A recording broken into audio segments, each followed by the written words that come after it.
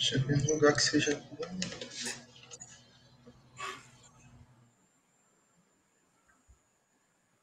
Olá, boa noite. Eu sou a professora Renata Sintra, estou como coordenadora do curso de licenciatura em pedagogia pela Universidade Aberta do Brasil e tenho a honra de hoje estar mais uma vez aqui, dando as boas-vindas aos participantes do quinto módulo do curso de extensão. Então, eu quero aqui agradecer imensamente as palestrantes, Tainá, a professora Reila, o professor Isael, que está aqui conosco, pela solidariedade acadêmica de vocês, por estarem aqui é, colaborando né, com o aprendizado de vocês para o nosso curso de extensão. Também agradeço imensamente a professora Ellen Cristina, que de prontidão aceitou o convite para vir mediar conosco mais esse evento. Muito obrigada a todos e todos, e eu acredito que essa solidariedade acadêmica que existe na área do, do ensino, eu falo do ensino e educação de modo geral, né, é que faz com que a docência realmente tome força, tome foco e realmente a gente consiga fazer a diferença. Então, a universidade, a Unemate é imensamente grata à professora Tainá, ao professor Isael, à professora Reila e à professora Ellen por vir contribuir conosco aqui. Eu trago aqui também o abraço é, de agradecimentos da diretora da Educação à Distância, a professora Rinalda Bezerra Carlos, do coordenador adjunto, Roberto Tical, que infelizmente não tem como eles estarem em todos os eventos né, que acontecem dentro da, do, dos cursos né, de, da, da, da, educação à distância. Mas eles deixam aqui, eles sabem, eles têm ciência desse evento aqui e deixam um abraço para vocês. Também trago aqui o abraço da professora Suzeli Paisano, né, que sempre está à frente de todo, toda a organização do curso de extensão, mas que infelizmente hoje, por força maior, ela não pôde estar aqui conosco, é, fisicamente ou participando, mas eu tenho certeza que ela está, é, de alguma forma, aqui contribuindo conosco também, né? Então, quero dar as boas-vindas a todas as tutoras presenciais, à distância, que nos acompanham, as professoras também, em especial as acadêmicas e os acadêmicos, que não têm medido esforços, né, para poder investir na qualificação de cada um e de cada uma. E isso é muito importante para nós que estamos à frente de, de um processo de qualificação, né, professora Tainá, Isael, Reila e Ellen, nós sabemos o quanto é gratificante ver as acadêmicas e os acadêmicos investindo na sua qualificação. Né? É, hoje nós vamos dar início ao quinto módulo do nosso curso de extensão, pesquisa científica, o que é e como fazer, e a live tem a denominação de verticalização da pesquisa científica que é um, um, curso de extensão organizado pelo curso de licenciatura em pedagogia pela Universidade Aberta do Brasil, né? Então, é, a, diretor, a, a DEAD é, tem a honra aqui de estar hoje é, dando, fazendo a abertura de mais este módulo que tem contribuído significativamente para o processo de aprendizagem das nossas acadêmicas e dos nossos acadêmicos. Tá? Eu quero deixar também o meu agradecimento aqui é, para a professora Suzeli, que já falei dela, mas mais uma vez eu quero agradecê-la. Ao professor Júlio Lara, que está sempre participando conosco. A professora Veigma, que também nos ajudou em toda essa organização desse evento, dessa live de hoje. Ao Tiago, que está sempre junto, sempre presente, sempre acompanhando, extremamente solidário conosco. Eu tenho certeza que esse evento de hoje é, vai contribuir muito, muito para que o, não só a organização de todo o processo burocrático que exige o curso, que é na organização da elaboração de um artigo, mas, consequentemente, para um processo de aprendizado e futuras é, investimentos em outras qualificações dos nossos acadêmicos e acadêmicas, como num processo de mestrado, num processo de doutorado, nos seletivos de concursos e etc. Né? É, eu acho que a docência só ganha com todo este evento. Tá? Então, muito obrigada mais uma vez a todas e todos aqui presentes. E agora eu passo a palavra para a professora Ellen Cristina, que de prontidão né, aceitou estar aqui conosco hoje para que ela possa fazer toda a mediação. Mais uma vez, obrigada de coração. Um abraço e um bom evento a todas nós. Obrigada, professora Renata. É um prazer estar aqui, tá? Muito obrigada pelo convite. É, meu nome é Ellen Cristina Borges, eu sou é, graduada pela Universidade Estadual de Mato Grosso, a Unemat, né? E neste momento eu vou estar tá, é, apresentando os nossos palestrantes, né? Para que nós possamos começar a nossa live. Muito obrigada, professora Renata.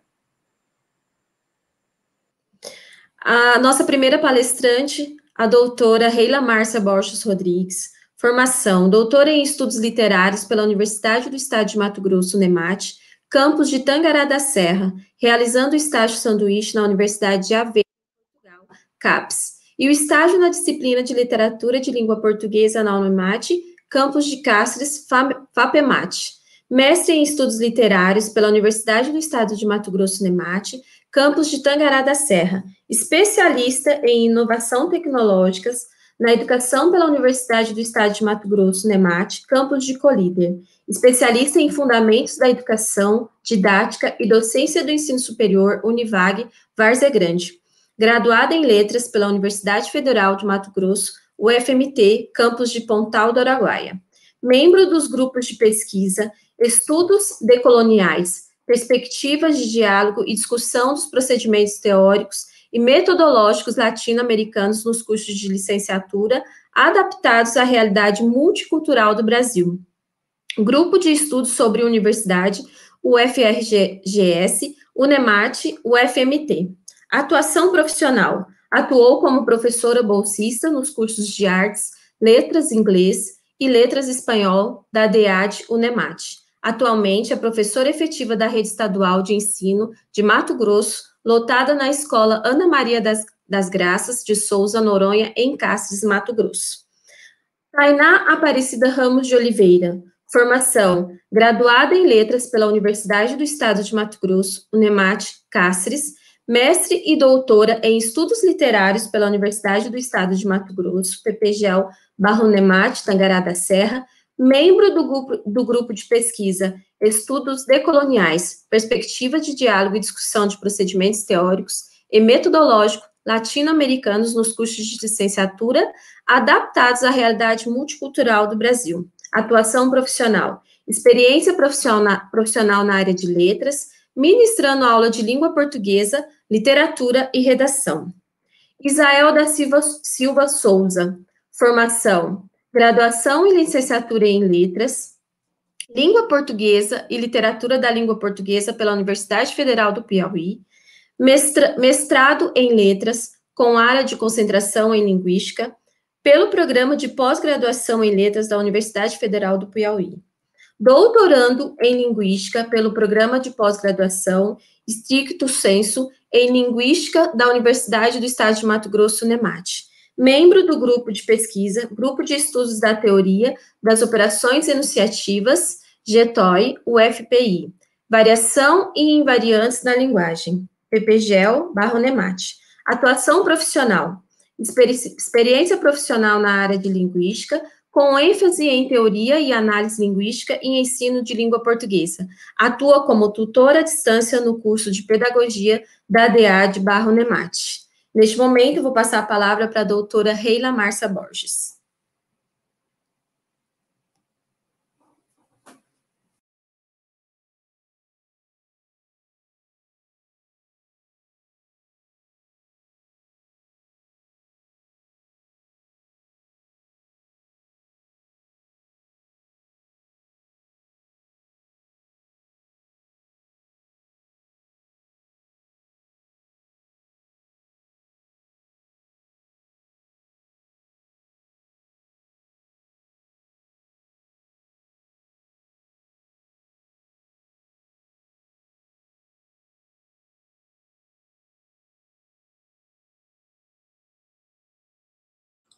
Desculpa, eu esqueci de ligar o, o microfone. Eu sou a professora Reila, é, doutora, doutora em estudos literários pela Universidade do Estado de Mato Grosso, e é um prazer estar aqui com vocês, falando sobre a pesquisa, algo que, que a gente vem construindo com muito sacrifício, com, com muita força, com muita solidariedade, que é necessária a solidariedade das pessoas, a abertura para essa pesquisa e o conhecimento que se construiu ao longo do tempo, né? É, a minha palestra vai girar em torno da pesquisa e como ela foi se, se, se construindo. Então, é, eu estou aqui com os meus colegas, colegas de, de luta, colegas de conhecimento, de, de compartilhar as, as, nossas, as nossas lutas, nossos pensamentos, nossas ideias críticas, e é a professora Tainá, que fizemos o doutorado juntas, professor Isael, que conheço a longa data, né, com, através dos eventos que a gente vem participando, que a gente vem construindo, e vou falar sobre a minha pesquisa, mas antes eu quero é, dizer por que esse nome verticalização do tema dessa, dessa apresentação, dessa live. A verticalização é uma estrutura que a universidade proporciona ao acadêmico à medida que ela oferece é, os cursos de graduação, de pós-graduação, num espaço em que te possibilita frequentar, te possibilita fazer pesquisa.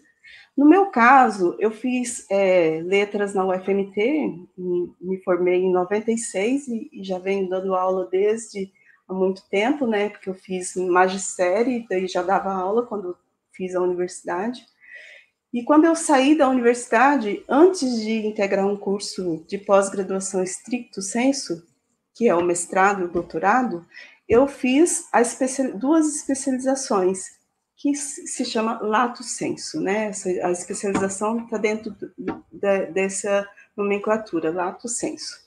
E aí, como que eu pude é, começar a minha pesquisa pensando lá na graduação, já pensando numa, numa, nessa verticalização, em cursar já uma especialização, em cursar um mestrado ou um doutorado, né, que é, que é isso que a gente vai construindo ao longo do tempo. Então, a minha, a minha graduação, eu fiz já pensando, minha, minha, minha monografia, eu já fiz pensando numa linha da literatura, na linha da literatura. Então, eu construí uma, uma monografia, uma pesquisa na, no, no, decorrer da graduação, porque a gente não constrói uma pesquisa no final da graduação, a gente constrói no decorrer, durante, né? Vai pensando e vai construindo o projeto e depois a pesquisa. É, junto com a minha orientadora, que hoje é uma grande escritora de, da, da literatura mato-grossense, que fez a maior historiografia de Mato Grosso, que é a doutora Hilda Magalhães. Juntas, nós construímos uma, uma, uma monografia que pensava a literatura infanto-juvenil e o processo da adolescência. Como a literatura pode contribuir com a adolescência, o pensar na adolescência, né? Na especialização, algum tempo depois, em 2010, eu fiz ainda pensando na literatura, mas por outro viés, eu pesquisei como a literatura é transportada, é colocada no cinema, como ela é, é contextualizada, essas obras literárias dentro do cinema. Né? A, a segunda especialização, em 2017, eu não fiz dentro da literatura, mas pensando ainda na formação do professor. Né? Ah, o mestrado, ele, ele veio, veio, um bom tempo depois, porque eu só pude fazer, concorrer no seletivo do mestrado numa universidade pública, quando houve, quando abriu o programa aqui em Mato Grosso, né? Então, já tinha um programa na UFMT, tentei na UFMT, na Unemat, passei em ambos, e escolhi o Unemat porque eu queria continuar com a literatura, né? E, e escolhi fazer na, nos estudos literários, em Tangará da Serra, pesquisando o teatro de Ariano Suassuna, dentro da literatura eu pesquisei, comecei a pesquisa com o teatro, especialmente o Teatro Alto da Compadecida, como que ele trazia, esse, como que esse escritor, ele trazia os elementos culturais nordestinos, como que a, a cultura nordestina influencia todo o país, influencia, influencia todos os espaços, como essa cultura popular é tão forte e tão crítica, à medida que ela critica a desigualdade social, critica os altos escalões da nossa sociedade, que, que impede que algumas coisas cresçam, que algumas coisas é, melhorem. Então, é um teatro extremamente crítico. E aí eu, eu pude continuar nesse mesmo programa, que é que isso que eu estava falando, quando a universidade verticaliza essa, esse, essa pesquisa, ela proporciona para você uma estrutura que você possa continuar a pesquisa. E como que isso reverbera na, na sala de aula? Como que isso pro, se produz na sala de aula, né? Esse professor pesquisador, esse professor se formando mais crítico, como que isso volta para a sala de aula? Né, para a formação do professor, para a melhoria da sua aula, né? Então, nesse, pensando nisso, nessa formação, eu continuei é, no curso de estudos literários, como fazendo doutorado ainda em, no programa de estudos literários, e realizei também, durante o doutorado, um estágio sanduíche na Universidade de Aveiro, em Portugal, com a Bolsa CAPES. Lá eu fiquei quatro meses pesquisando na Universidade de, de, de Aveiro, e participando dos eventos, participando da cultura, participando das aulas, e foi um grande aprendizado, né? Foi um, trouxe um enriquecimento para minha para minha uma bagagem para minha para minha enquanto pessoa, enquanto profissional, enquanto professora, né? E, mas antes eu tinha feito estágio aqui na Universidade de Cáceres com a turma de letras, né? Porque eu consegui uma bolsa FAPEMAT e com essa bolsa eu consegui realizar um estágio aqui na universidade, que também foi muito enriquecedor. Pude conhecer várias instâncias de dentro da universidade no campus de Cáceres, né? Ainda continuando com o Ariano Suassuna, eu venho pesquisando no doutorado o riso, o riso, né, o cômico, e como que esse riso, ele traz a criticidade para o leitor, para o espectador no caso do teatro, ele possibilita a leitura e possibilita a, a verificação né, da peça, da apresentação da peça. Então, como que esse riso, ele pode, dentro desses efeitos cômicos nas peças do Ariano, como ele pode ser tão profundo, como ele pode trazer tanta criticidade, né? Seus personagens muito simples, o cenário muito simples, tudo é todo todo o teatro dele é popular e muito simples e ele falava que podia ser realizado em qualquer lugar, em qualquer situação, né? Porque era muito simples, porém um texto muito crítico. Então, quando eu apresento a minha pesquisa, tanto do mestrado quanto do doutorado, todas as pessoas conhecem o Alto da Compadecida, né? Que é a sua principal obra, a, a obra que teve mais divulgação que, que, que lhe deu mais prêmios, né? Trouxe mais visibilidade para o escritor. Mas não é não é uma única obra, é, tem muitas obras, várias outras do mesmo estilo de criticidade, de chamar a atenção para a desigualdade, para os problemas sociais, tanto do Nordeste quanto de outras regiões, né? E o Ariano Suassuna, ele, ele trouxe ao Alto da Compadecida em 1955, num, numa região é, de difícil é, divulgação do teatro, no entanto, ele, ele veio para o Rio de Janeiro com a peça e foi ganhou a visibilidade maior ainda em 2010 a partir do filme, né? E a, e a, a minissérie.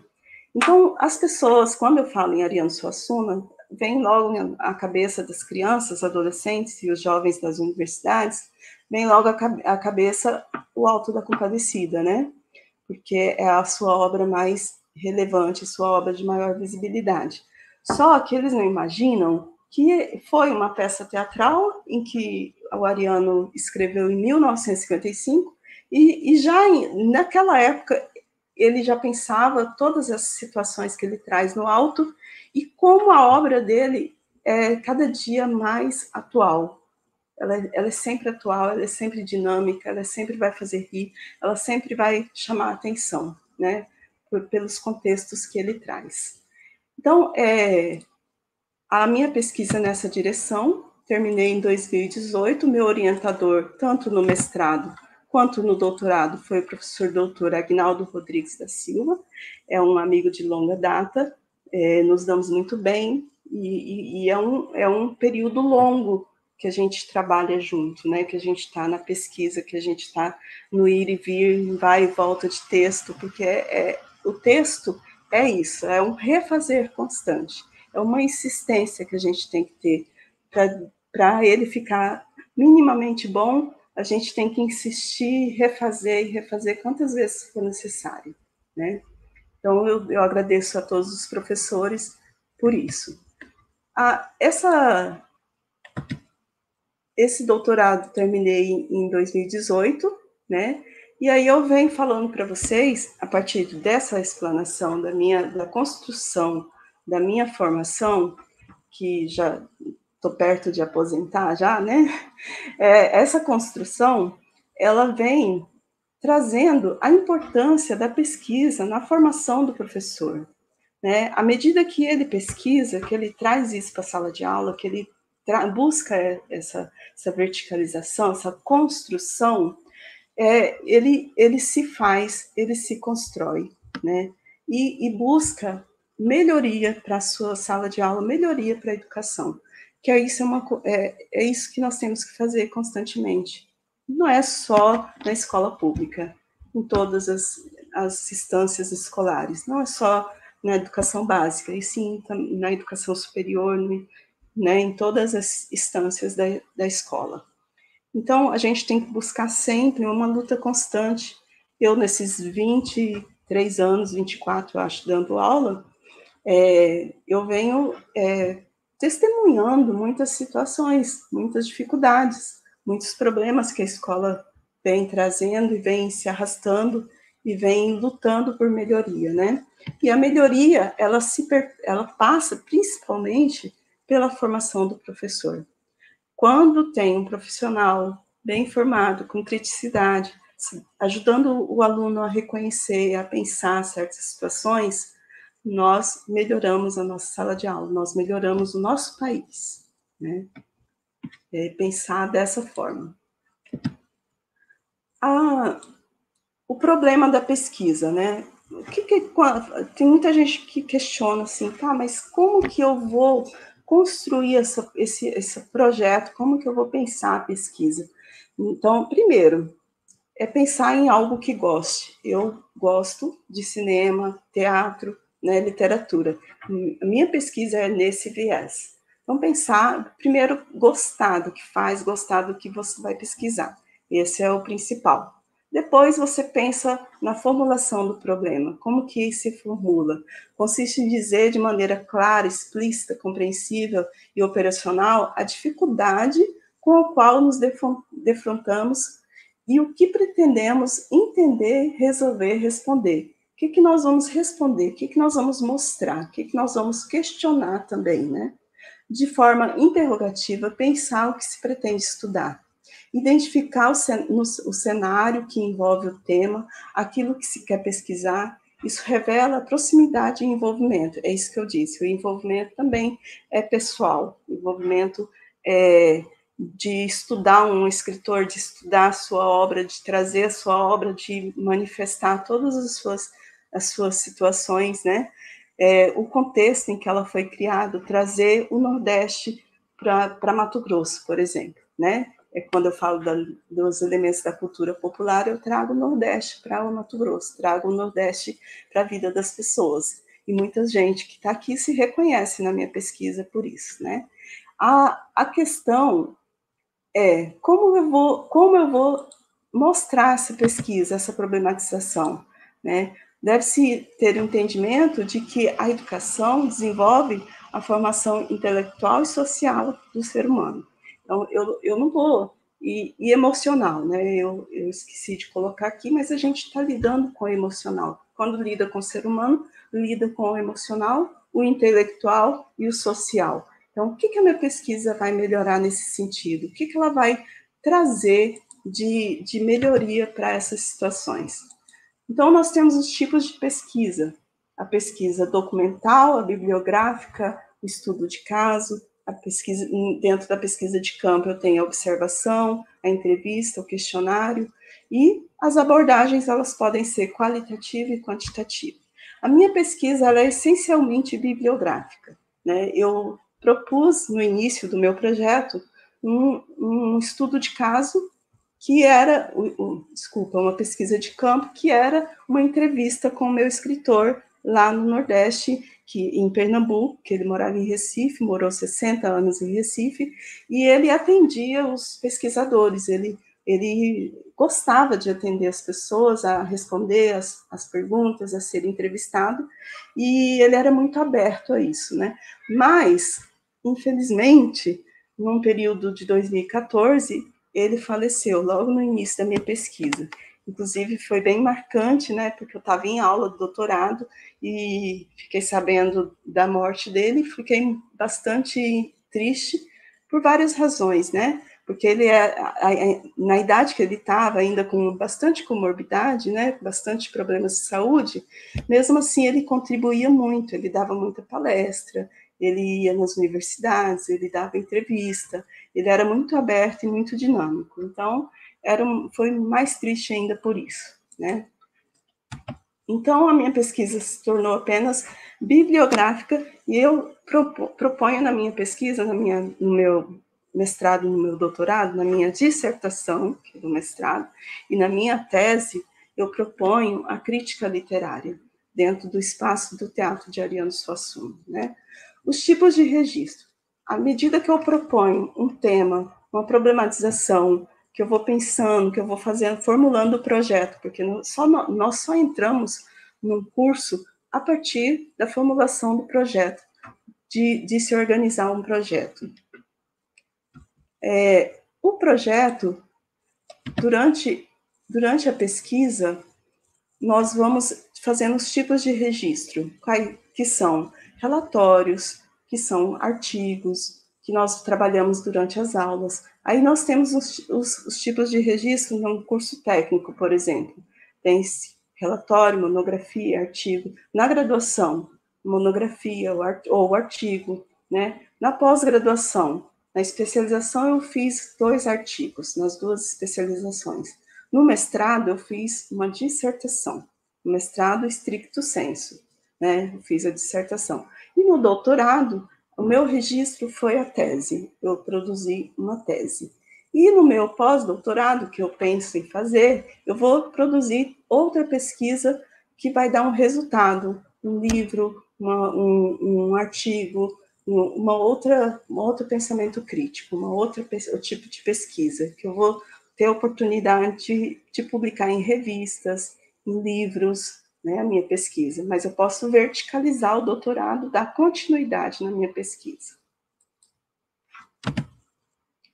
Então, encerrando, eu gostaria de dizer que, antes de mais nada, antes de pensar a pesquisa, antes de pensar é, é, de mostrar esses caminhos todos que a gente passa, que são anos de lutas, dez anos de estudo colocando mestrado, especialização, doutorado, são aí 10 anos de estudos, né? E que a gente, em 10 anos, em 20 anos, acontece muita coisa. Nos quatro anos de doutorado, acontece muita coisa na sua família, na sua vida pessoal, na sua saúde, em, em todas as situações, né? E tudo leva a você pensar que você não vai conseguir, que o seu trabalho não vai estar à altura, que você não vai conseguir realizar todas as etapas. E a gente consegue sim. A gente tem que ter persistência, tem que ter força, tem que pensar no resultado, almejar um resultado, sonhar com ele. E, e eu, eu gostaria que nessa minha pequena fala, eu gostaria principalmente de incentivá-los a continuar a pesquisa, de incentivá-los a fazer o mestrado e o doutorado, de incentivá-los a sempre escrever, a sempre produzir, a divulgar os trabalhos de vocês em sala de aula. Esse é o meu principal ponto, meu principal objetivo aqui é dizer para vocês: não desistam. É difícil, mas não desistam. Muito obrigada.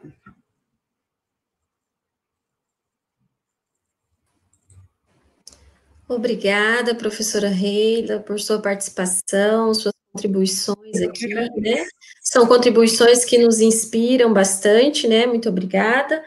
E neste momento eu vou pedir para a professora doutora Tainá, né? Tá, tá fazendo aí sua participação, né? E trazendo as suas contribuições. Seja bem-vinda, Tainá.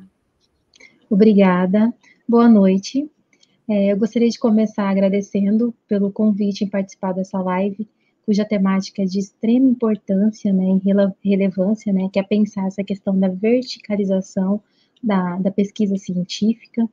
E depois dessa fala belíssima e inspiradora da Reila, fica até difícil, né, é, falar, né, sobre, sobre essa questão da... Fica difícil, ao mesmo tempo, fica também mais inspirador falar sobre essa questão da verticalização da pesquisa, porque, como ela colocou mesmo nesse último slide, é, a pesquisa científica, essa verticalização, você existem várias formas de você construir a pesquisa. Então, independente da área do conhecimento, a, a pesquisa científica é muito importante. Cada área tem uma forma de conduzir a pesquisa científica, né? E como a Ellen, é, a professora Ellen, ela me apresentou no, no começo, né? Apresentou o meu currículo. Eu sou formada em letras, assim como a Reila, né? Tenho meu mestrado e doutorado em literatura e, e, a, e a, literatura tem uma forma específica de produzir a pesquisa científica, que, de, de em linhas gerais, é, as minhas pesquisas, elas se pautaram muito na, na questão da pesquisa bibliográfica, né? Assim como o trabalho da Reila. Então, antes de eu começar falando sobre a minha trajetória de pesquisa, falar como que foi esse processo de verticalização que começou na graduação e trouxe até o doutorado, é, eu gostaria de ler um pequeno trecho de um, de um dos grandes escritores da nossa literatura, que é o Guimarães Rosa, em seu livro Grande Sertão Veredas, ele traz uma passagem muito interessante que eu acho que dialoga muito com, com o tema dessa live de hoje, né? Então ele diz assim, peço licença para ler. O correr da vida embrulha tudo. A vida é assim. Esquenta e esfria, aperta e daí afrouxa, sossega e depois desinquieta. O que ela quer da gente é coragem. Bom, essa fala do Guimarães Rosa é, acaba dialogando com o que a Rila acabou de falar. Né? Nós não queremos aqui romantizar, dizer que tudo é, é muito tranquilo. Não é isso. É, na pesquisa científica, assim como em qualquer momento da vida, há desafios. Né, como Guimarães Rosa coloca aí, momentos que afrouxam, momentos que apertam, né? E quando eu trouxe essa fala do Guimarães Rosa, foi justamente porque nessa fala ele traz uma ideia de dar uma palavra muito importante para ele, que é a questão da travessia, né? Essa travessia, que é um termo que ele vai utilizar em outras produções, né? O que, que seria essa travessia? Seria a trajetória. Ele coloca ainda nessa obra que eu, que eu citei, que o que importa não é somente o ponto de partida e o ponto de chegada, ou seja, onde você quer, de onde você parte, onde você quer chegar, mas o seu percurso, a sua travessia. Né? E é justamente a pesquisa científica é esse momento de travessia, esse momento em que você tenta, de uma certa forma, entender e resolver, de certo modo, os problemas da humanidade, as questões é, da humanidade. E como eu falei, cada área do conhecimento tem uma forma de conduzir a pesquisa científica. Então, dialogando com essa fala do Guimarães Rosa, nós percebemos que a pesquisa vai ter momentos que, enquanto nós estamos produzindo, a, a, pesquisa, tem momentos que a gente se encontra um pouco desanimado, achando que não vamos dar conta de, de chegar ao final, que não vamos dar conta de, de terminar, mas de repente nós somos revestidos de uma força e tudo começa a fluir. Você começa a se encantar pelo seu objeto e a pesquisa se desenlancha, né? Durante o momento que eu estava pensando aí o que falar nessa noite aqui para vocês, é, eu me deparei com com, com, eu vi quanto eu sou grata pela Universidade do Estado de Mato Grosso em fazer parte dessa minha formação. É, como eu estava conversando com os colegas antes de começarmos a live, é, esses momentos de encontro que tanto que, que os, os, os eventos eles proporcionavam, as aulas, foram momentos muito importantes que nos ajudaram a construir relações é, de amizade, relações de conhecimentos com outros colegas e que é muito importante, que auxilia muito também no desenvolvimento das nossas pesquisas. Né? A Reila, por exemplo, eu conheci no, no, doutorado, foi uma grande parceira aí de estudo, uma grande parceira de viagens, né? Que nós íamos, morávamos, eu morava em Cáceres, né? E nós íamos para, para Tangará, e essas viagens eram sempre regadas de muito conhecimento também, diversão, de conhecimento, trocas de experiência, e isso enriquece muito o, o nosso aprendizado. Mas agora falando especificamente sobre o meu processo, a minha construção de, é, da minha pesquisa científica, né? Eu, como foi falado no início, eu sou formada em letras pela Universidade do Estado de Mato Grosso, campus de Cáceres. É, mim, quando eu entrei no curso de letras, eu gostava muito de literatura. Eu já entrei sabendo que eu gostava muito de literatura, era o que me chamava a atenção. Né? Claro que ao longo do curso, quando você vai fazendo as disciplinas, outras começam a te chamar a atenção, você começa a despertar o interesse por outras disciplinas, alguns professores trazem temáticas que também te despertam a atenção, mas a literatura sempre foi a minha prioridade. E, e uma questão que, que ocorreu comigo durante a minha graduação, que foi de muita importância, foi o fato de eu ter sido bolsista de iniciação científica, né, eu, eu atuei como bolsista em um projeto da revista Ecos, né, que era uma revista que recebia, era um periódico que recebia textos científicos de professores da área de letras, linguísticas e artes, tanto da Unemat quanto de outras instituições nacionais e internacionais. Bom, esse momento, ele me possibilitou é, ter contato com pesquisa, ver como que as pesquisas dentro da minha área, elas eram produzidas, e o que foi muito importante para mim. E mais importante ainda, durante esse processo da iniciação científica, que fui bolsista, foi o encontro com o meu orientador, né? Então, na, na graduação, é, nesse momento eu encontrei com o professor Aguinaldo, que foi o meu orientador no, no, no, na Bolsa de Iniciação Científica, e acabou me orientando também na, na minha monografia. E foi muito interessante esse encontro com o professor Aguinaldo, que ele foi uma figura muito importante na minha formação, eu não posso deixar de de citar isso, que quando eu conversei com ele, é, que eu falei o que eu gostava, falei sobre os, os, meus gostos na literatura, o que, que eu achava interessante, ele me apresentou uma obra literária, que foi a obra Fazenda Modelo, do escritor Chico Buarque. Então, acho que Chico Buarque, quando a gente fala esse nome, vocês devem se lembrar, quem não conhece a sua literatura, deve se lembrar das canções, né? Ele me apresentou essa obra, e ao ler, eu percebi que a obra ela tinha muito daquilo que eu gostava de pesquisar, que eu, que eu me interessava na literatura. Ou seja, essa relação do texto literário com a sociedade. Sobretudo, se nós formos pensar que a obra, ela traz ali como pano de fundo a questão do, da ditadura militar. Tá? Só, só comentar brevemente sobre a obra, porque ela vai percorrer os, as minhas outras formações, né?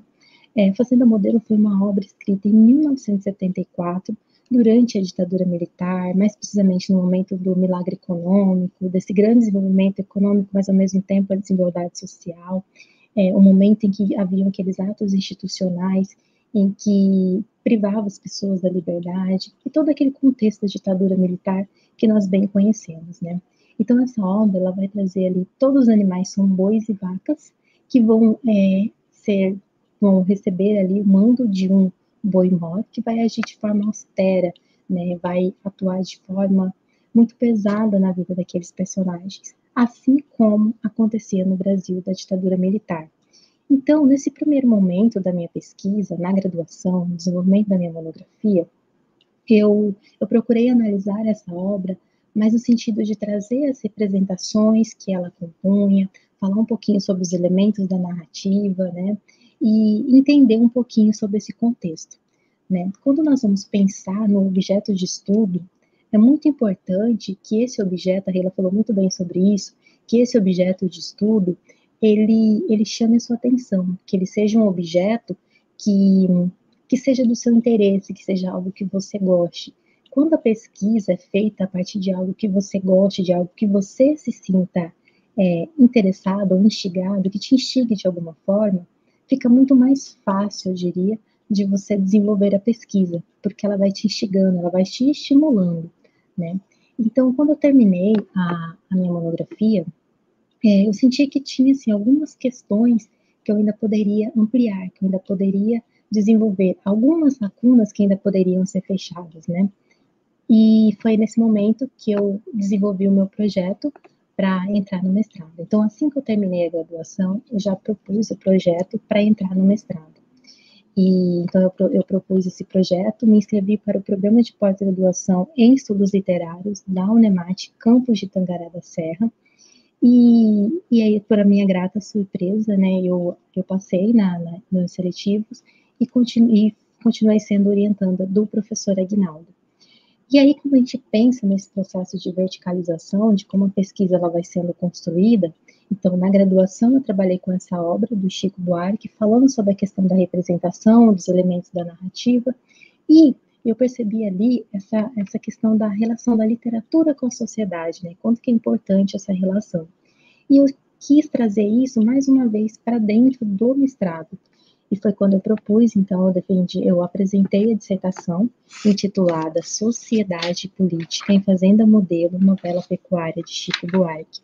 Então, vejam que eu acrescentei agora, no, que eu acrescentei na no, no mestrado, dois termos, né, sociedade e política. Então, eu procurei nesse trabalho analisar essa obra a partir dessas duas vertentes, né, perceber como que essa obra, ela dialogava com o contexto social. Então, para isso, eu precisei fazer um levantamento sobre a fortuna crítica do autor, né, pensando que eu estava é, estudando um autor que ainda estava na, atuando, né, no momento em que eu produzia a minha dissertação, ele, ele escreveu um livro, ele lançou um CD, então, assim, é era preciso acompanhar todas essas movimentações, né, então, em determinado momento da minha pesquisa, é, eu fiz esse levantamento, né, perceber qual era o estilo do autor, como, como que ele como era seu, sua produção, né, suas outras produções, que como vocês sabem, se deu também na música, no teatro, e enfim. E pensar também o Chico Buarque dentro dessa composição como um porta-voz, vamos dizer assim, da realidade do seu tempo. Então ele utilizou da sua literatura, digamos assim, para discutir, de certo modo, aquilo que estava acontecendo na sociedade. Né? Então, a minha pesquisa ela procurou é, centrar nessa relação da literatura com a sociedade, falar um pouco sobre a questão da literatura engaja, engajada, literatura empenhada socialmente, mas sempre deixando claro que, que a minha proposta não era reduzir a literatura a um simples registro histórico, não é isso, mas é como que a literatura ela pega esses elementos externos e elabora esteticamente dentro do material literário. Como eu falei para vocês, a obra ela traz ali animais representando os seres humanos, né? E, ela é repleta de simbologias. Né? Então, eu quis é, desvendar, de um certo modo, como que esses elementos eles são trabalhados ali no interior do texto. É, uma outra, e aí, antes de eu terminar o, o mestrado, eu resolvi fazer um, um projeto, né, para entrar no doutorado. Porque quando a gente está, quando estamos pesquisando, produzindo uma pesquisa, é muito comum surgirem algumas indagações, algumas inquietações ao longo do caminho. E foi isso que aconteceu quando eu estava fazendo a dissertação. Conforme eu ia escrevendo, iam surgindo inúmeras ideias, né? Algumas eu conseguia colocar na dissertação e outras ficaram muito amplas e então caberia eu, eu poderia deixar na gaveta para no futuro é, resgatar essas ideias. E foi o que aconteceu, né?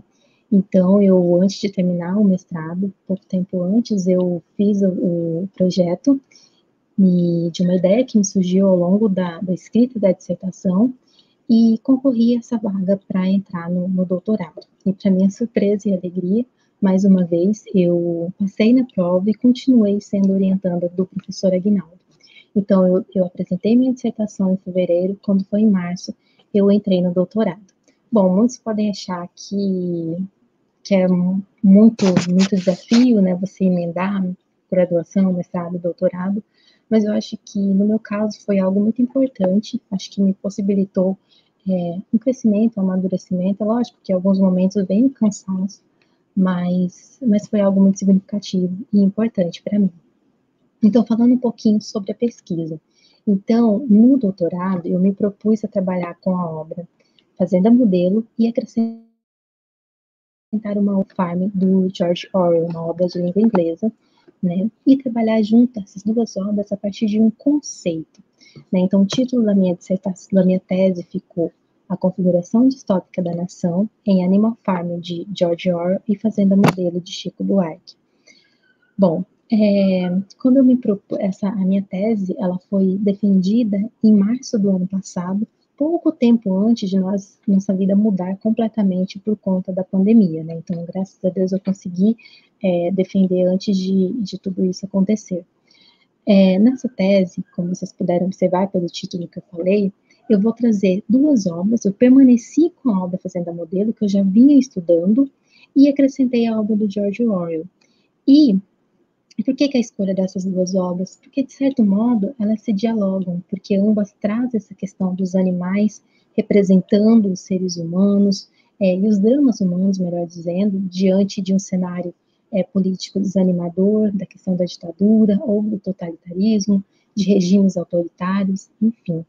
E não foi só isso, né? Não, não é somente discutir, comparar essas duas obras pelos elementos que elas têm em comum, mas eu me propus também a analisá-la a partir de um conceito, que é o conceito de distopia. Esse conceito ele me surgiu lá na dissertação, enquanto eu escrevia a dissertação, mas como era um conceito muito amplo, eu resolvi deixá-lo para deixar para trabalhar com ele na tese.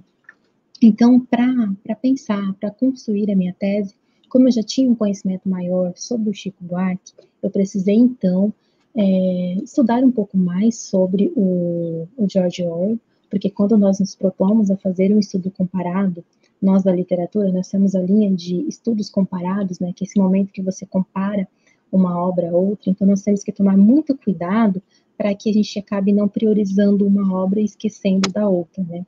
Então eu precisei tomar esse cuidado.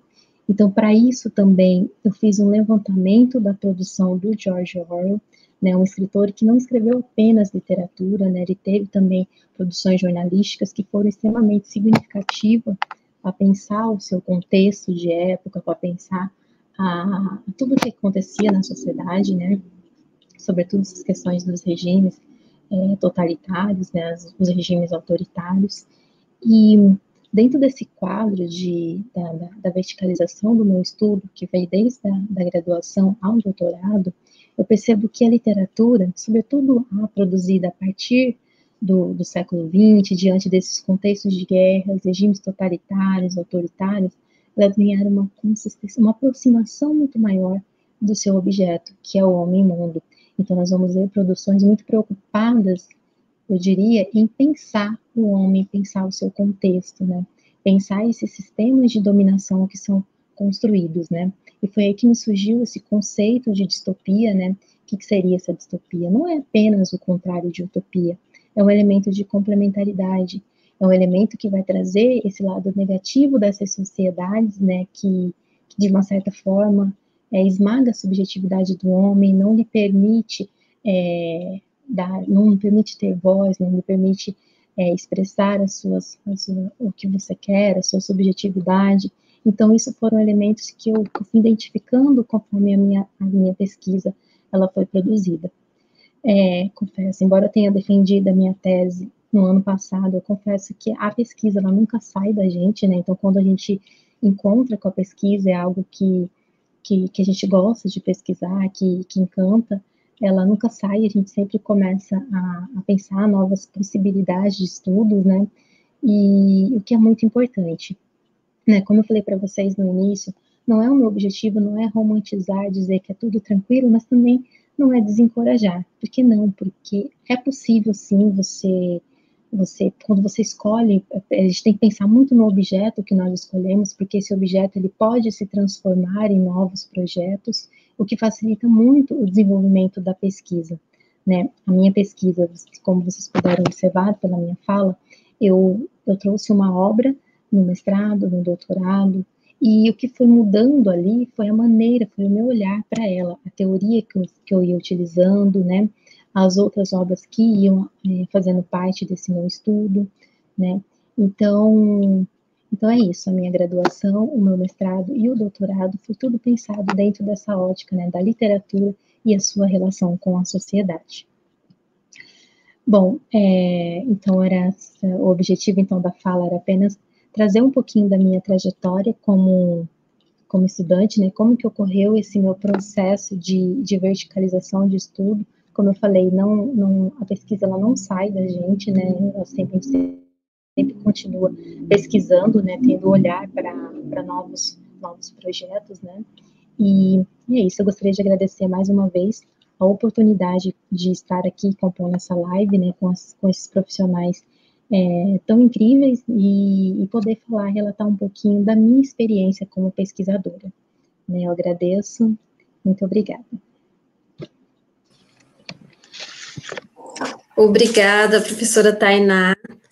Que excelente contribuição para nós, né? Muito, nos motiva muito, nos inspira. Muito obrigada. E neste momento eu vou pedir para o professor doutorando Isael para estar com a palavra. Obrigada por sua presença, professor. Muito obrigado, professora Ellen. Eu desejo uma boa noite a todos que estão aqui conosco. É um prazer poder estar aqui dividindo essa fala com vocês e reiterando o que as meninas já disseram. E eu vou fazer uma apresentação aqui da minha tela.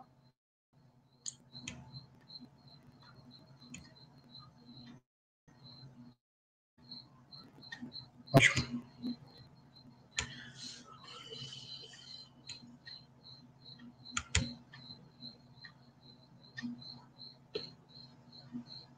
Bom, então, Uh, eu me propus hoje contar, assim como a Tainá, a experiência, né? Essa experiência de formação e como que a pesquisa científica, nesse processo de verticalização, tem um poder muito grande. E pensando justamente nesse processo de formação de professores, né? Vocês aqui, a maioria são do curso de pedagogia, e de como que a pesquisa nos faz professores melhores, né? Não sei se vocês já pararam para pensar nisso, né? Como que você, professor, que estará vai em algum momento estar tá na sala de aula, é, vai fazer com que a pesquisa seja significativa no seu fazer pedagógico, né? Que poder a pesquisa científica tem para transformar o seu fazer pedagógico? E aí, eu vou, o meu toda a minha proposta de hoje é justamente isso, né? A pesquisa científica em linguística e a formação de, de professores, um relato de experiência. E eu trouxe linguística, porque, como a professora Ellen me apresentou no início, a minha formação é em linguística. E, eu, e aí, os primeiros passos da, do meu processo de formação se deram na Universidade Federal do Piauí, lá por volta de 2000, 2013, quando eu ingressei no curso de licenciatura em letras. Bom, na universidade, assim como todos vocês, a gente chega apreensivo, não é, sem saber muito bem uh, os caminhos que a gente vai trilhar ali dentro da universidade. Bom, no primeiro semestre do curso, eu tive aula de linguística, é? na disciplina que a gente conhece por Linguística Geral 1. Nessa disciplina, é, eu, os professores costumavam falar sobre os grupos de pesquisas. Lá na Federal do Piauí, ah, existem muitos grupos de pesquisas dentro da própria área de letras, linguística e literatura. E eu me interessei por esses grupos e eu fui inserido no GETOI, que é o Grupo de Estudo da Teoria das Operações Enunciativas. Esse grupo ele é coordenado pela professora Maria Auxiliadora Ferreira Lima. Bom, então eu comecei de fato a frequentar as reuniões do GETOI a partir do segundo período da graduação. Até então, é, eu não sabia, assim como qualquer estudante de graduação, como fazer uma pesquisa científica e até mesmo entender a proposta do grupo. Né? Eu estava num grupo, mas eu precisava entender como que o grupo fazia pesquisa, que pesquisas eram desenvolvidas, o que era a teoria das operações enunciativas. Então, ir para o grupo de pesquisa e participar das reuniões que eram realizadas semanalmente me fizeram começar a, faz, a ter um processo de abstração de abstração da, da teoria que o grupo de pesquisa estudava, não é? Isso mesmo no início da graduação. Então, as nossas reuniões do GETOI costumavam ser ah, toda quinta-feira à tarde. Então, no grupo de pesquisa, a gente lia um texto semanalmente e discutia esse texto. Então, tinha um contato com a teoria, mas eu não fazia pesquisa nesse momento, né? Eu estava nesses primeiros passos aprendendo uma teoria. Bom, e passou 2013 inteiro, né, o meu primeiro, segundo semestre. No segundo semestre de 2014, eu fui inserido é, pela professora coordenadora do GETOI, a professora Maria Auxiliadora Ferreira Lima, num projeto de iniciação científica. Né? A iniciação científica foi fundamental e para o meu processo de inserção científica mesmo. Porque até o momento, quando eu participava do GETOI, eu li os textos, eu discutia com o pessoal do grupo de pesquisa, eu ouvia a professora Maria Auxiliadora apresentando as propostas, né, o que é que eles estavam falando, o que era a teoria, mas eu não fazia pesquisa. Na iniciação científica, eu deixei de ser um leitor e comecei a os primeiros passos para ser um pesquisador. E esse, uh, o projeto que eu fui inserido foi unidades lexicais, identidade e variação em uma dinâmica de interação. Nesse projeto de iniciação científica, a professora tinha vários é, alunos, né? Acho que eram três alunos do mesmo ano que eu e tinha alunos dos anos anteriores. Cada aluno trabalhava com uma unidade. A gente toma unidades lexicais como palavras, né? É, por exemplo, no meu caso, eu fiquei com cinco termos, cinco palavras: novo, velho, antigo, é, fino e grosso. Essas unidades, a gente tomava ela partindo do princípio que elas não tinham sentido próprio mas que esse sentido era construído no enunciado. Todo o processo de iniciação científica, que durou de 2014 até 2016, me ajudou a, a entender os primeiros passos do que era a teoria que o grupo, o GETOI, trabalhava, e ao mesmo tempo eu fiz mais leituras e comecei a fazer exercício de leitura e desenvolver uma coisa que é muito difícil para a gente, que é esse olhar enunciativo, né? Porque a, a gente parte de uma uma perspectiva linguística e de formação que ela é mais uh, estruturalista, né? As coisas ali já têm um valor, não é? Ah, se eu perguntar para vocês aqui que estão me assistindo, o que significa novo? Vocês podem dizer inúmeras coisas. Só que esse valor, ele parte muito da experiência de vocês. Hoje eu falo isso com mais é, certeza, porque eu já tenho uma abstração maior.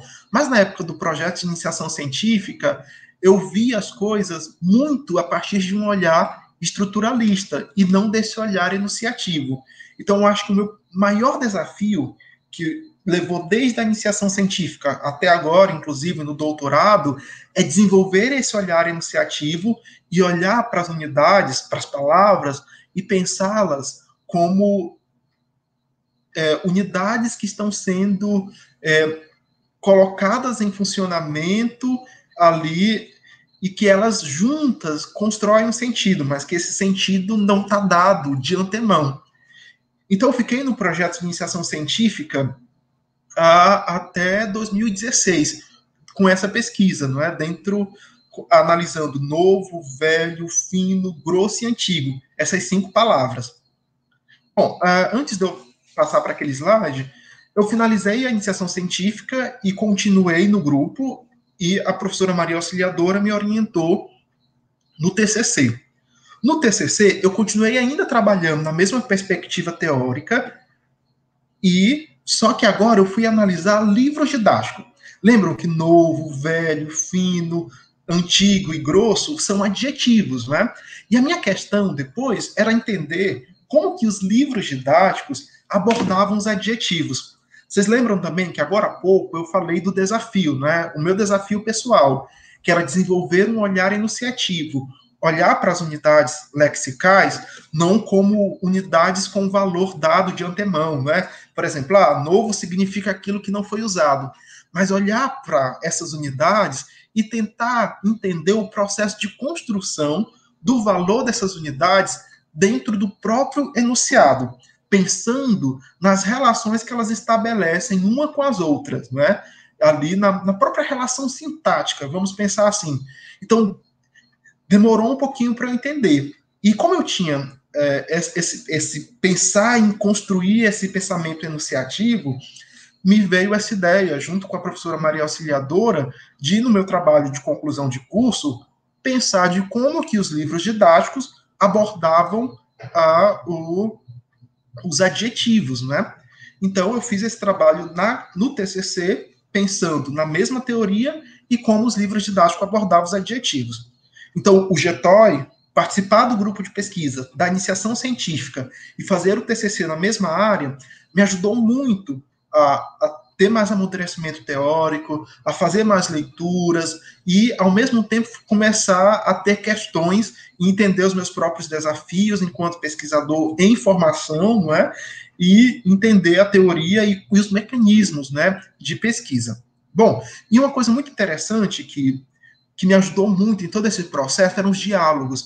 Vocês estão aqui, por exemplo, conversando, perguntando. Isso é muito importante. O nosso grupo de pesquisa tem uma jornada bianual, que é a jornada de estudos léxicos gramaticais e enunciativos. Então, nessa jornada, todos os pesquisadores da área se juntam para discutir os trabalhos dentro ali da mesma perspectiva enunciativa. Então, isso me ajudava muito a pensar nos meus próprios trabalhos, tanto ali enquanto eu era aluno de iniciação científica, depois aluno de TCC, e quando eu cheguei no mestrado. Bom, e aí toda a nossa área, ela estuda o Antoine Culioli. Antoine Culioli, ele é um linguista francês, e aí a gente tem uma definição para ele que é muito interessante, né, que ele é uma das vozes que discordam da maioria, né, e a Márcia Romero diz que é uma das mais eloquentes. Então, para o Culioli, a significação ela está no coração da linguagem. Por quê? Estudar uma teoria enunciativa é estudar a significação, como que essa significação se constitui. Então, isso foi muito, sempre me instigou muito, né? Como que a significação se constitui, como que as unidades, como que os valores das unidades, eles ganham sentido. Então, eu sempre trabalhei dentro disso. E aí, pensar a linguística culioliana é pensar uma linguística diferente de uma linguística estruturalista, que é o que eu estava mais adaptado por causa da minha formação ali na graduação também. Então, é durante toda a minha graduação, eu tive uma formação paralela, porque frequentar o grupo de pesquisa me possibilitou ter uma formação em uma linguística culioliana, uma linguística enunciativa, e por outro lado, eu tinha na graduação a formação em linguística estrutural e as outras correntes dentro ali da perspectiva é, que o curso de letras oferecia lá na Universidade Federal do Piauí. Bom, mas aí, o que é essa linguística curioliana e como que ela contribui para a minha formação? Bom, a linguística curioliana, ela vê a linguagem como uma atividade, né? E essa atividade é aprendida através da diversidade das línguas naturais, que tem os rastros ali nos textos, orais, escritos. E a língua, ela não é desvinculada dos seus enunciadores, como se língua e enunciadores eles estivessem conectados, imbricados. E a gente pode pensar nesse sistema linguístico como não homogêneo. E são as questões que me aguçaram, né, a continuar pesquisando. E aí tudo isso que eu venho falando para vocês até agora é dentro desse viés teórico, a teoria das operações predicativas e enunciativas. Então, lá na iniciação científica, eu fui introduzido nessa, nessa teoria pelo GETOI, meu grupo de pesquisa, eu fiquei estudando, lendo os textos e depois eu tive a oportunidade de pesquisar o novo, o velho, o antigo, o fino e o grosso. Depois, no TCC, eu tive a oportunidade de olhar para o livro didático a partir desse olhar da teoria das operações enunciativas e pensar como que eles abordavam. Se essa abordagem era de uma perspectiva mais da taxonomia, não é? Que é o quê? Na, somente na classificação, ou se tinha uma reflexão sobre o uso representativo das formas linguísticas. Bom, e aí quando eu terminei a graduação, a minha, a, a minha trajetória é muito parecida com a da Tainá. Uh, porque eu não, eu fui direto, né? Eu saí da graduação e eu passei direto para o mestrado. No mestrado, eu continuei trabalhando com a teoria das operações enunciativas, inclusive trabalhando com a professora Maria Auxiliadora Ferreira Lima, que me orientou na iniciação científica, me orientou no TCC, e eu tive também esse prazer de ser orientado por ela no mestrado. Então, lembro que na, na iniciação científica, quando eu cheguei no projeto, eu tive cinco unidades para trabalhar. E depois eu vi como que essas unidades, que eram classificadas como adjetivos, eram trabalhadas nos livros didáticos. Quando eu cheguei no mestrado, eu tive uma ideia, junto com a professora auxiliadora, que era pensar como, geralmente, por exemplo, novo, velho, fino e grosso, eles são tomados como opostos, né? Qual que é o oposto de velho? Novo, né? Mas aí, dentro da teoria, a gente pensa que esses valores, eles não são dados. Bom, se eu tenho um valor da palavra novo, que não é dado, mas que ele é construído ali no próprio enunciado, então significa dizer que essa relação de opositividade, ela não se sustenta. E foi essa questão que eu levei para a minha dissertação, que seria as relações de opositividade, essas relações que a gramática costuma chamar de antomímia, e pensando nessas relações de opositividade entre novo e velho, que eram as mesmas unidades que estavam lá no meu projeto de iniciação científica. Isso pelo viés da teoria das operações enunciativas. Então, eu fiz todo o mestrado dentro dessa linha e no finalzinho do mestrado eu estava procurando lugares para continuar o doutorado. A minha professora, Maria Auxiliadora, ela sempre dizia algo que me instigava bastante. Ela dizia assim: olha, Israel, o legal do doutorado é você tentar fazer em uma outra universidade, pensando em experimentar uma nova, uma nova cultura disciplinar, conhecer outros professores e que trabalham dentro da mesma perspectiva que a gente, que é a TOP, a teoria das operações enunciativas. Aqui no Brasil, atualmente, nós tínhamos alguns polos né, de concentração de estudos da TOP. Bom, a gente tem a Unesp, com a professora Letícia Rezende, inclusive ela aposentou, então ela não trabalha mais. A gente tem a Unifest com a professora Márcia Romero, a Federal do Piauí com a professora Maria Auxiliadora, que foi a minha orientadora desde a graduação até o mestrado, e aqui na Unemate nós temos o professor Albano da Lapria e o professor Marcos Luiz Cumpre. Lembram daquele evento aqui, olha, que eu mostrei para vocês?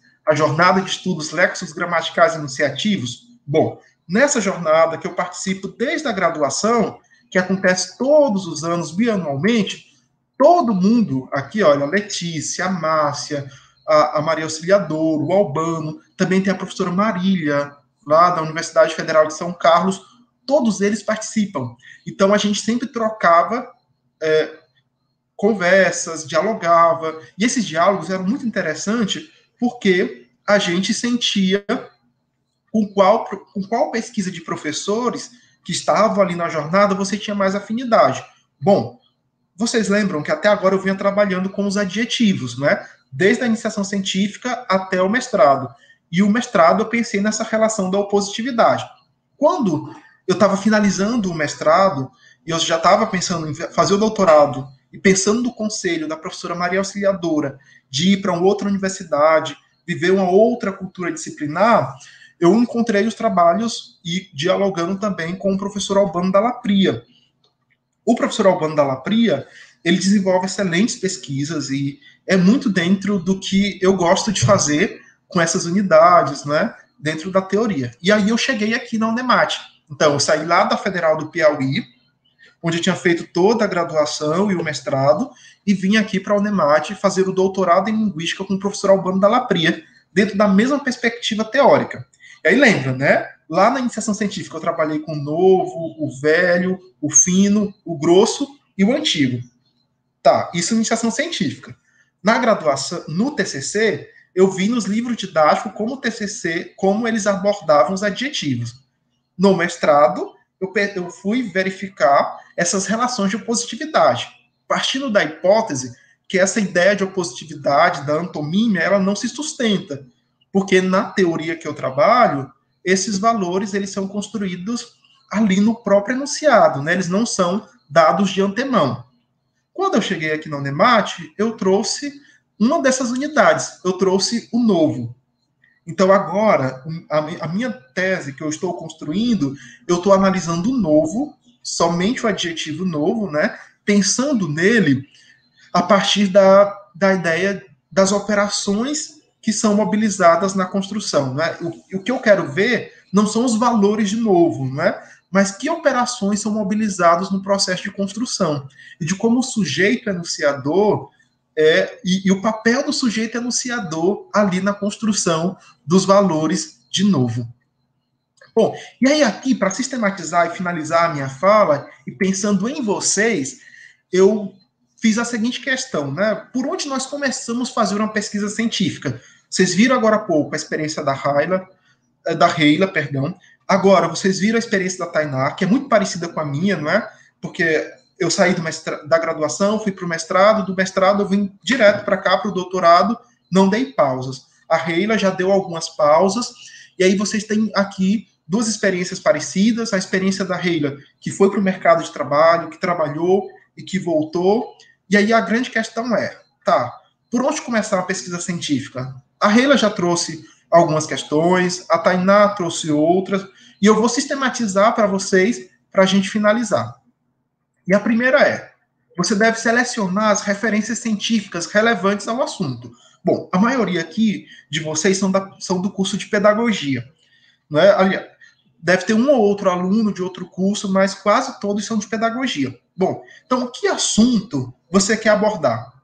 Ah, então, digamos que vocês querem abordar, por exemplo, o ensino de pedagogia, é, o ensino para crianças com síndrome de Down, por exemplo. Então, o ideal é selecionar toda a referência bibliográfica sobre a síndrome de Down em crianças, é, sobre o ensino da, da educação básica para crianças com síndrome de Down. E aí começar a ler essas referências. Depois de ler tudo isso, vocês precisam refletir sobre essas pesquisas, né? Que lugares essas pesquisas chegaram? Que conclusões os pesquisadores alcançaram? Depois disso, você seleciona, delimita um, um problema de pesquisa que não foi totalmente estudado na área. E quando eu falo totalmente estudado, eu falo de uma coisa que a gente chama de lacuna de pesquisa. O que é essa lacuna? Toda pesquisa que a gente faz, a gente não dá conta de fazer muita coisa, não é? A gente tem que delimitar, fazer recortes. Pensando nessa delimitação, eu, Isael, a Tainá, a Reila, a gente sempre deixa alguma coisa que não foi feita. E aí é essa lacuna que você, por exemplo, que está assistindo, pode ir lá e verificar e fazer a sua própria pesquisa. Mas isso precisa, antes, de leitura e de reflexão, para você chegar na delimitação desse problema de pesquisa dentro da sua área, que, por exemplo, pode ser uh, o processo de alfabetização de crianças com síndrome de Down nos anos iniciais. Percebem?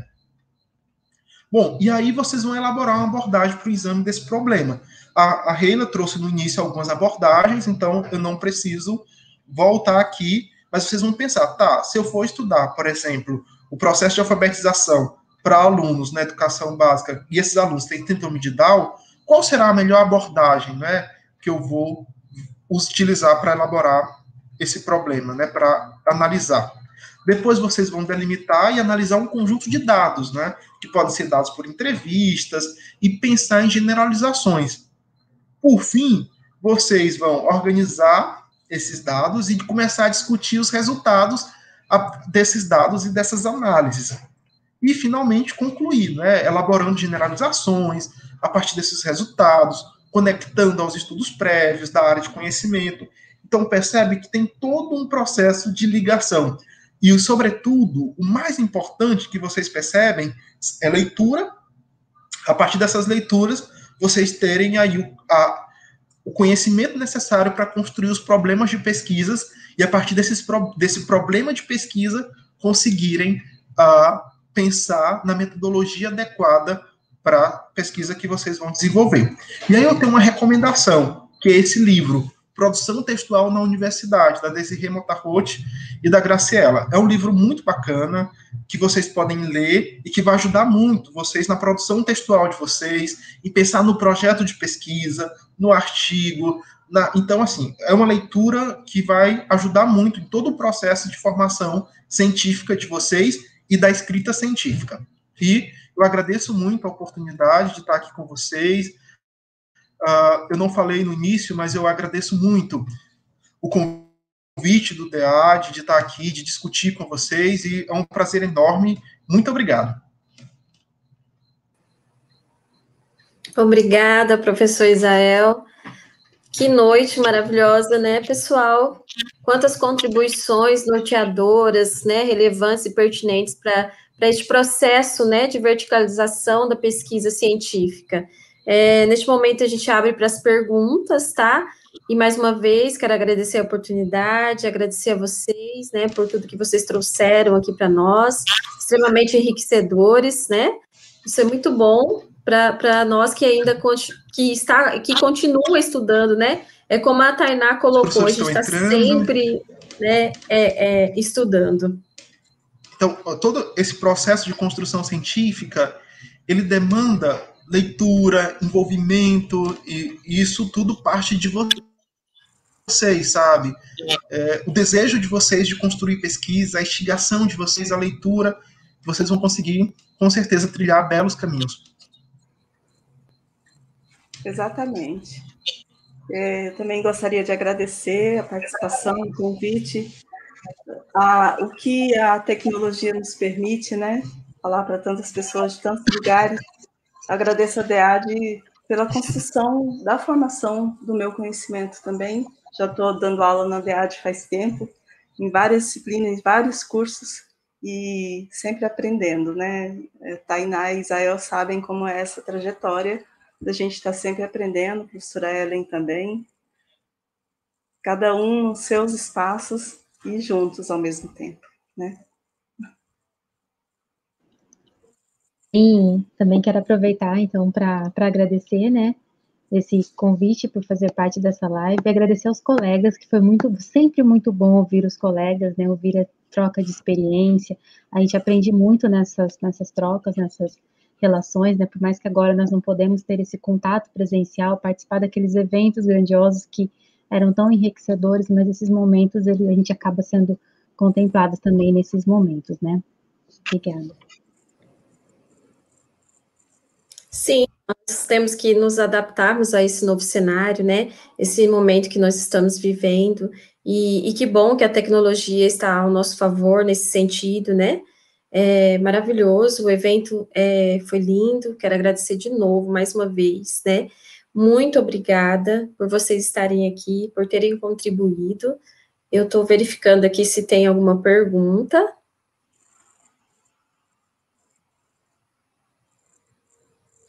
Ellen, eu quero aproveitar até dizer uma coisa, assim, que eu, eu falei no início que esse processo de pesquisa, ele contribui muito para a formação, do, formação dos professores. Por quê? Toda proposta pedagógica de qualquer professor depende da perspectiva teórica onde ele se encontra. Então, se o professor tem uma boa formação teórica, ele consegue fazer questões muito mais do que dizer coisas, ele vai conseguir ser um bom professor e vai conseguir aí fazer um excelente trabalho. E eu, assim, eu fico lisonjeado em estar aqui com a Reila e a Tainá, é um privilégio. Muito obrigado, meninas. E com você também, Ellen. Obrigada, Isael. Olha só, aqui no chat nós temos a Maria Adélia, que diz obrigada por nos proporcionar conhecimentos incríveis. A Fabiana, que diz obrigada a todos os professores por essa live maravilhosa. É, parabéns, ótimas colaborações. É, gostaria muito que falasse sobre os resultados de dados. Essa é a pergunta da Maria de Fátima.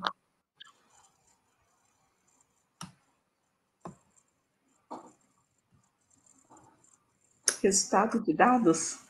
Quais Isso, dados? a Maria, a Maria de Fátima faz a seguinte pergunta: gostaria muito que falasse sobre os resultados de dados. É, Maria, é, ponto de vista de um objeto, né? então, dependendo de onde você está olhando, os resultados vão ser é. diferentes. Por exemplo, a gente tem três pesquisas distintas aqui a partir das nossas trajetórias, né? Então, esses resultados de cada pesquisa, de mestrado, de doutorado, eles partem muito do olhar de cada um. É, é, tem uma pergunta da Edna, até a Tainá poderia responder, que a Tainá trabalha com romance, né? Trabalha com, com Chico Isso. Buarque. Isso, a Edna Braga, ela faz a seguinte pergunta: gosto de ler romance. Tem como fazer uma pesquisa pedagógica sobre esse tema? Sim, é que bom que você gosta de ler. É sempre bom ter contato com pessoas que gostam de, de pensar literatura também, né?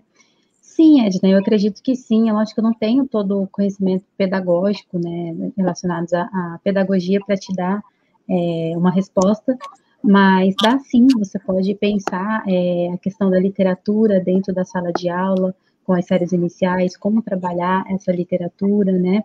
É, quais procedimentos, é, estratégias pedagógicas utilizar para trabalhar isso dentro de uma sala de aula, né? Pensar ali, teria que delimitar uma série, por exemplo, né?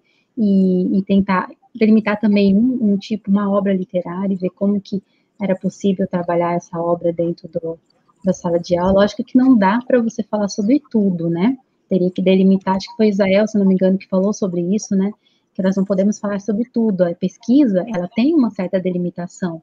Então, escolher primeiramente qual é o objeto, qual que é a obra literária, por exemplo, que você gostaria de trabalhar, pensar em esses alunos quais seriam o público-alvo, né?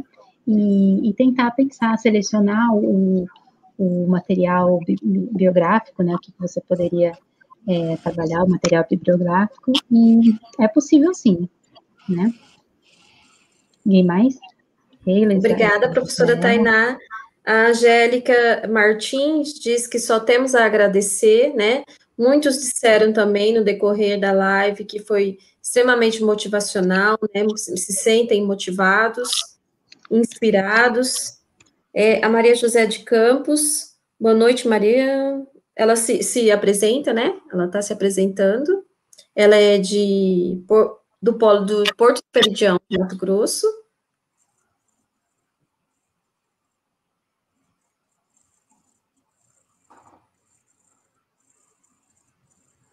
Bom, acho que nós podemos é, finalizar e eu quero agradecer a todos a presença, a participação e eu gostaria de finalizar dizendo que nós não podemos parar, né? A educação não pode parar, nosso estudo não pode parar. É, por mais que nós tenhamos uma situação, um espaço que nos impeça, né, muito, uma política perversa, né, que está impedindo muito professor de, de continuar a sua luta, sua batalha, sua, sua escolaridade, a sua formação. Por exemplo, esse ano nós temos professores que não saíram para não saíram de licença para o doutorado, porque o governo não autorizou né, essa licença. Então, mesmo assim, eles não vão deixar de fazer o doutorado, vão dar aula as 30 horas em sala de aula e vão fazer as aulas de doutorado e vão fazer a pesquisa e vão fazer as leituras. Então, e muitos têm famílias, né? Vai ter que se desdobrar e não vai parar. Então, é, é não, tem, não pode ter nada que nos impeça de, de avançar, né? De, de contribuir com uma educação melhor.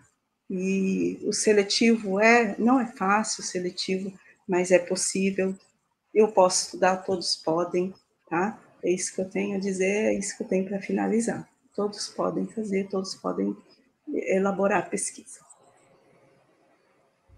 Quanto mais desafiador, né, mais gratificante, né? Tainá, você gostaria de fazer suas contribuições finais? É, só reiterar o que, o que a Rila falou, né? Acho que nesse momento que nós estamos vivendo, é sempre, é sempre bom nós termos esse, esse momento de, de discussão, de pensar a formação é, nossa enquanto professores, para, de uma certa forma, instigar também os nossos alunos para a pesquisa, né, seja na educação básica, seja no ensino superior, é sempre muito bom nós termos também esse, darmos esse exemplo também para os nossos alunos, né, incentivá-los a pesquisar. Então, é, agradecer mais uma vez, por poder ter essa oportunidade de falar um pouco sobre a minha experiência.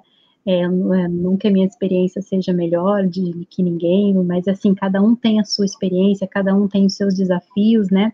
E, e é bom nós podermos compartilhar. Como eu falei lá no início, enquanto eu preparava a minha fala, é, sistematizava as coisas que eu iria falar hoje, é, fui acessando na minha memória tantos momentos agradáveis na, na graduação, na pós-graduação, momentos que agora, para nós, que no momento eram desafios, hoje para nós se tornam como é, recordações muito, muito gratificantes, né? Como, por exemplo, as viagens que nós fazíamos, né, Reila?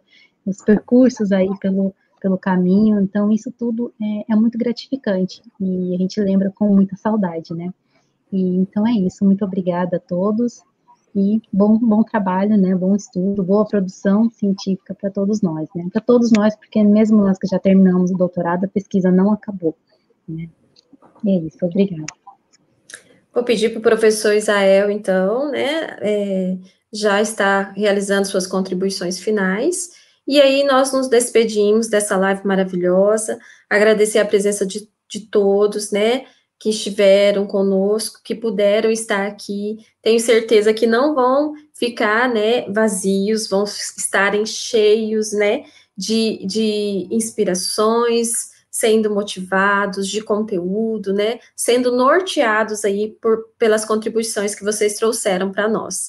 Muito obrigada a todos, tenham todos uma boa noite, e aí eu peço para o professor Israel estar fazendo as suas contribuições finais. Bom, pessoal, vou só reiterar o que a Reila, a professora Ellen e a Tainá disseram. A pesquisa é para todos. Então, vocês estão aqui, são a maioria alunos da educação à distância, já são vencedores por estarem aqui se esforçando, se dedicando, e saibam que vocês podem também entrar na pós-graduação tanto a lato quanto a estrito senso. Vocês são capazes, eu acho que vocês só precisam se interar, continuar participando, estudando, procurando. É desafiador, obviamente, mas o bom da pesquisa é isso, né? É nos desafiar a tentar sermos melhores, a questionar muito mais do que aceitar as respostas ir atrás de respostas e de outras respostas. Então, um lindo percurso para vocês. Vão atrás, pesquisem, busquem ler, tenham perguntas, os professores de vocês do DEAD podem fazer perguntas e vamos todos pesquisar. Então, muito obrigado a todos, tenham uma boa semana e um lindo percurso de pesquisa.